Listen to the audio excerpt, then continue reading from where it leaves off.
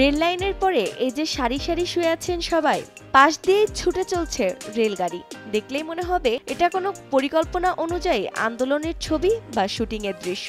কিন্তু না, এটি বাস্তবিকভাবেই ইন্দোনেশিয়ার জাকার্তার রাওয়াবোয়া গ্রামের রেল লাইনের একটি দৃশ্য।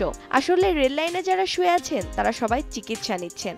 অবাক করা বিষয় হলেও সত্যি এটাই যে এভাবে ইন্দোনেশিয়ার কিছু মানুষ রেল ট্র্যাক থেরাপি নিয়ে থাকেন। এটি একটি চিকিৎসা ব্যবস্থা। শুধু বড়রাই নন, শিশু থেকে শুরু করে কিশোর কিশোরী, এমনকি বৃদ্ধ, সব বয়সের মানুষরাই এই চিকিৎসা গ্রহণ করতে রেল লাইনে মাথা দেন।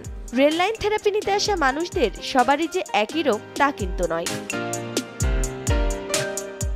এক একজন ভিন্ন রোগ বা শারীরিক সমস্যা নিয়েই বিপজ্জনক এই থেরাপি নিতে আসেন। থেরাপি নিতে আসা পঞ্চাশ বছর বয়সী এক ব্যক্তি জানান, তিনি ডায়াবেটিসে ভুগছেন দীর্ঘদিন ধরে। চিকিৎসকের পরামর্শ অনুযায়ী নামি দামি ওষুধ খেতে অনেক অর্থ ব্যয় করা তার পক্ষে সম্ভব নয়। এজন্য ডায়াবেটিস সারাতে মুলিয়াতি রেললাইন ইলেকট্রনিক থেরাপি গ্রহণ করছেন তিনি। রেল লাইনে চিকিৎসা নিতে আসা মানুষের ধারণা, ট্রেন চলার সময় রেল লাইনে যে কম্পন ও হালকা বৈদ্যুতিক তরঙ্গ ঘটে তা শরীরের মধ্যে দিয়ে প্রবেশ করানো। তাদের ভ্রান্ত ধারণা হলো, এভাবেই রেল লাইনে শুয়ে থাকলে সারবে বিভিন্ন রোগ। তবে চিকিৎসা বিশেষজ্ঞরা জানিয়েছেন, এমন কোনো প্রমাণ নেই যে রেল লাইনে পড়ে থাকলে শরীরে কোনো উপকার মিলবে।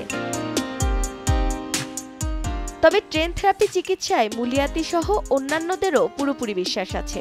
সরকার কর্তৃক পরিচালিত রেলপথ কর্তৃপক্ষ অবশ্য এ বিষয়ে অনেকবার সতর্ক করেছেন জনগণকে। যদি কেউ এই অপরাধ করেন, তাহলে তার তিন মাসের কারাদণ্ড বা চোদ্দশো মার্কিন ডলার জরিমানা দেওয়ারও বিধান আছে। এরপর থেকে বিপজ্জনক এই চিকিৎসা ব্যবস্থা গ্রহণ করতে আসা জনগণের সংখ্যা কমলেও একেবারে বন্ধ হয়নি।